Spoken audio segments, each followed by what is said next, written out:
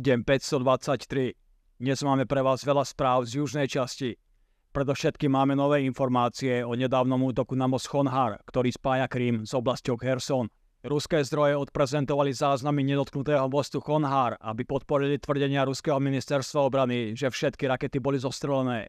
Na nešťastie pre Rusov dnes spoločnosť Planet Labs uverejnila satelitné snímky, ktoré jasne ukazujú, že Ukrajinci úspešne zničili sekciu železničného mosta. Ukázalo sa, že zverejnené záznamy ukazujú nedotknutú časť mosta, zatiaľ čo obrovská diera sa nachádzala hneď naľavo. Aj keď ruská armáda a média sa pokúsili obmedziť prístup k oblasti, dnes sa neznámej osobe podarilo odfotiť jednu z dier.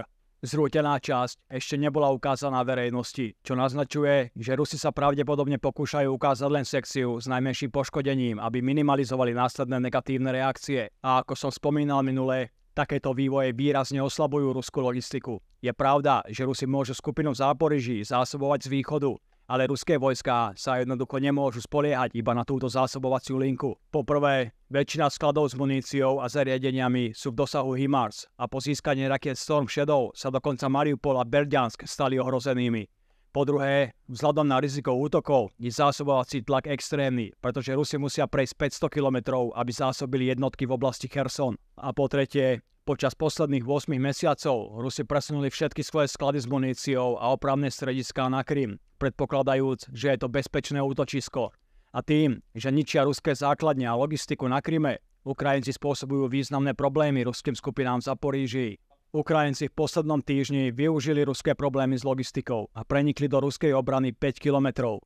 Posledný krát, keď sme diskutovali o tejto oblasti, som vravel, že Ukrajinci vyrovnali frontovú líniu a pripravovali sa na útok na Robotajn.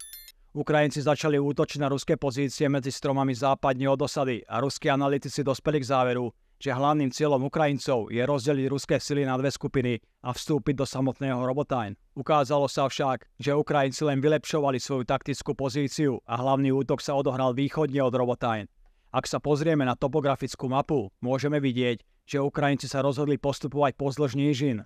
Existujú tri dôvody, prečo sa Ukrajinci rozhodli postupovať tadialto. Poprvé, ruské sily očakávali, že Ukrajinci budú pokračovať pozdĺž hrebenia a preto silne posilnili túto oblasť. Po druhé, ruské sily túto oblasť v nížinách veľmi neopevnili, takže ich obrana tu bola dosť slabá. A po tretie, Ukrajinci by mohli v lese zaujať veľmi výhodnú pozíciu, ktorá by umožňovala ukryť prichádzajúci útok priamo pred bránami Robotajn a zároveň kontrolovať východnú stranu tejto osady z časti lesa, ktorá je umiestnená na kopci. Aby to dosiahli, Ukrajinci znovu zahrali trik na Rusov a spustili sériu útokov zo severu a západu, ale len cieľom zafixovať ruské sily v týchto pozíciách. Keď úspešne odviedli pozornosť od hlavného útoku, prenikli do ruskej obrany z východu.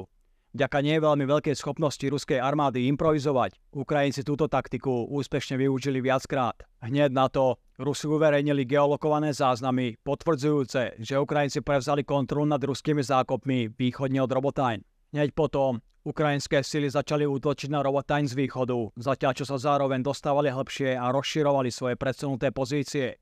Geolokované záznamy potvrdili, že Ukrajinci získali veľa územia v okolí Berbove. Na záznamoch je tiež vidieť, ako Ukrajinci testovali Rusku protitankovú priekopu tak, že do nej poslali prázdne obrnené bojové vozidlo. Vodiča bolo vidieť, ako vyskočil z vozidla počas jazdy k tejto priekope. Najnovšie aktualizácie naznačujú, že Ukrajinci už operujú v blízkosti Novoprokopivky. Celkovo sa Ukrajincom podarilo postúpiť 5 kilometrov vo všetkých smeroch a vytvoriť významný mostík medzi Robotajn a Verbove.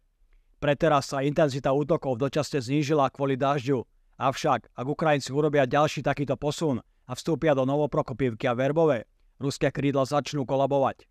Ak ste proti invázii na Ukrajinu a chcete podporiť prácu, ktorú robím, zvážte nákup v online obchode UA Supporter. Tu nájdete veľa produktov s ukrajinskými symbolmi, aby ste podporili nielen tento kanál, ale aj Ukrajinu. Odkaz na online obchod nájdete v popise. Ďakujem za sledovanie, uvidíme sa v zajtrajšej správe.